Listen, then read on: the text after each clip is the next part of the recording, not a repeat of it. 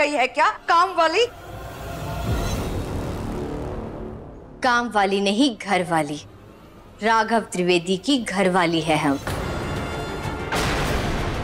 और आप इतना हैरान क्यों है? जब आप अपना असली चेहरा दिखा सकती है तो हम क्यों नहीं दिखा सकते? Right right. मुझे समझ जाना चाहिए। जब तुम अपना बनने का ढोंग करके मेरी ज़िंदगी बर्बाद कर सकती हो तो वानी दीदी की जगह वानी बोला तुम्हारे लिए कौन सी बड़ी बात है? हम आपको दीदी बुलाते थे क्योंकि तब आपकी आँखों में हमारे लिए प्यार था राघव जी के लिए प्यार था। पर आज अब अपनी नफरत में इतनी अंधी हो गई है कि ना तो आपको राघव जी की हालत दिखाई दे रही है ना दादी जी का तड़पना ना पार्वती आंटी जी के आँसू। तो हमने अपनी अच्छाई और आपको इज़्ज़त देना दोनों छोड़ दिया है। मम्मी देखा? देखा मुझसे कैसे बात कर रही है? इसे लगता है कि मुझे कोई फ़र्क पड़ता है इन सबसे अब? नहीं मुझे ना तुम्हारी परवाह है ना तुम्हारे पति की परवाह है ना इस परिवार की परवाह है। रहने दे बेटा। इन गरीबों की तो फितरत ही यही होती है। ये कुछ दे नहीं सकते पर धोखा ज़रूर देते हैं। धोखा नहीं। आपको राघव जी देकर हम जाने वाले थे।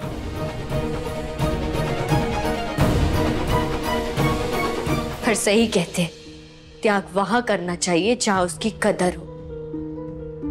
सूरज की रोशनी में दिया जलाने से अंधेरा नहीं दिए का वजूद खत्म हो जाता है। तुम्हें जो करना है कर लो। तुम्हारा पति अब जेल में ही सड़ेगा। मैं अपनी कंप्लेंट वापस नहीं लूँगी। रुकिए।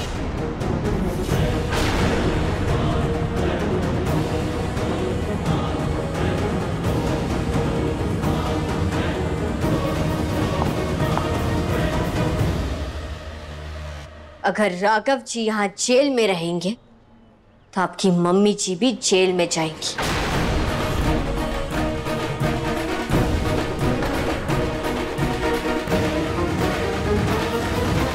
अच्छा किस जुर्म में?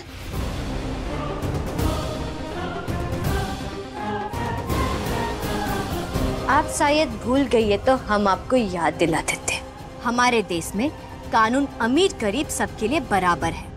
यहाँ एक नौकरानी पर, नहीं, एक औरत पर इस तरह काली पोतना, उसका अपमान करना, गरीबी की वजह से उसके साथ भेदभाव करना, उसका सरेआम तमाशा बनाना, बहुत बड़ा जुर्म है।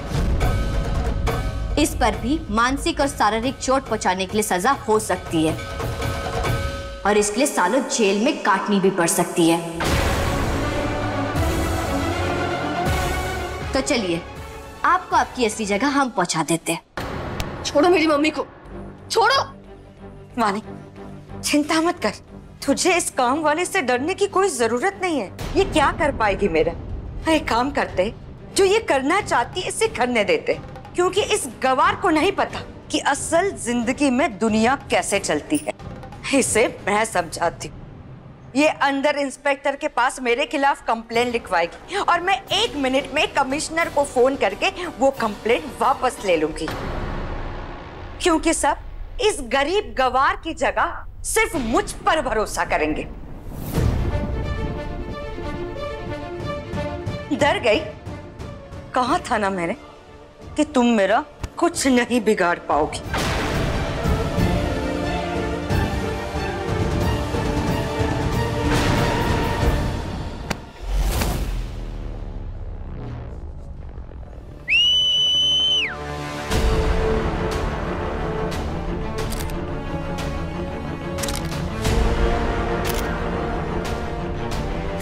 ये देखो इस अमीर औरत को जिसके सर पे अमीरों का भूत चढ़ा हुआ है। आजकल के आप तो जमाना बदल गए हो इंसान ना सोच छोटी बड़ी हो गए गरीब इंसान को परेशान करना और उनका अपमान करना अब तो इनका हक बन गया है। हमारा देश कब का आज़ाद हो गया तब भी इनकी सोच छोटी की छोटी ही है।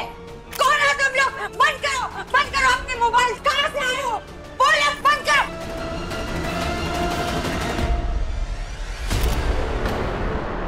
ये हमारे दोस्त है। ये बिट्टू। मालिका का, का बेटा कोमल पड़ोस में काम करती है। वो कजरी उसके पापा सफ़ाई कर्मचारी है। ये सब लोग सच्चाई का वीडियो बनाकर आप जैसे इंसान के दिमाग और दिल की गंदगी को साफ़ करते हैं। ये क्या बकवास है? बिना मेरी मम्मी के मर्ज़ी के ये लोग रिकॉर्डिंग कैसे कर सकते हैं? ये मर्ज़ी सब तब कहा था? जब आपकी मम्मी बिना हमारी मर्ज़ी के हमारे चेहरे पर काली पोत रही थी। ये तब क्यों नहीं कहा? जब आपकी मम्मी बड़े लोगों से जान पहचान की धौस जमा रही थी। तो बस, ये हमारे जान पहचान के लोग हैं। आप पुलिस से अपनी शिकायत वापस ले सकती है, पर जनता की अदालत में आप पर बराबर मुकदमा चलेगा। क्योंकि आजकल के जमाने में ताकत और आवाज़ सिर्फ़ अमीरों के पास नहीं, आज एक गरीब भी अपनी सच्चाई दुनिया को दिखा सकता है, बोल सकता है। जैसे हमारे अब दोस्त दिखाएँगे। देखना। अब आपका असली चेहरा सबके फ़ोन में दिखाई देगा। और हमने सुना है, इज़्ज़त पूरी मिट्टी में मिल जाती है। अगर एक बार आप किसी गलत काम के लिए बदनाम हो जाओ तो।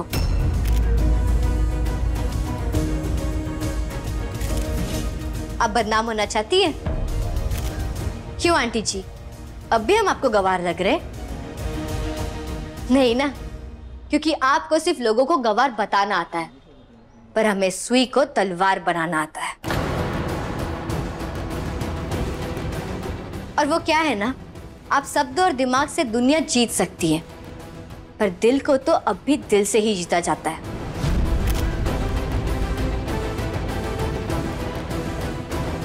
तो अगर आप चाहती है कि आपकी मम्मी का वीडियो और उनका चेहरा सबके फ़ोन पे छान आ जाए तो आपने जो राघव जी के खिलाफ शिकायत दर्ज करवाई है उसे वापस ले लीजिए।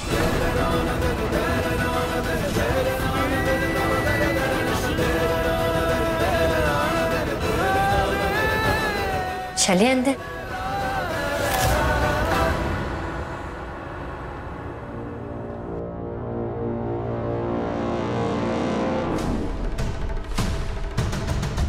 वाह बेटा आखिरकार तुमने वो कर दिखाया जो एक पत्नी अपने पति के लिए किसी भी हद तक जा सकती है। तुम तो भगवान, इंसान, शैतान से भी अपने पति के लिए लड़ सकती हो।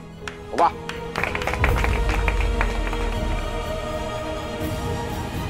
इंस्पेक्टर साहब, आप आगे की कार्रवाई पूरी कीजिए। चलिए हम राघव को घर ले चलते हैं।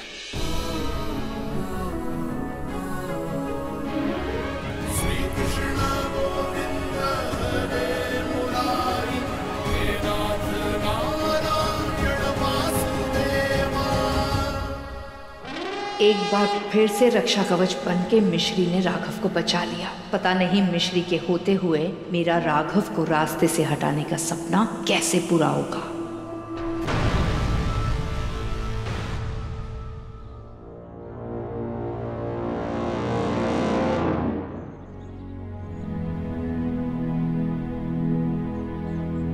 मिश्री। दादी जी कहीं पर हमारी आँखें शब्दों से ज़्यादा बोल देती है। आपने मन में कहा और हमने सुन लिया। अब जाइए।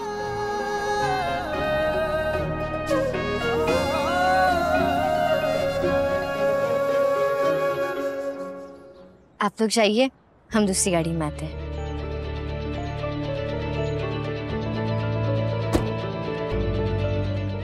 तुम रिक्शा से आओ। तुम्हारे लिए वही सही रहेगा। रिद्धि? क्या हो बेटा? तुम हमारी गाड़ी में आ जा आज जब लड़की ने वो किया है तो हम सब मिलके भी ना कर पाए।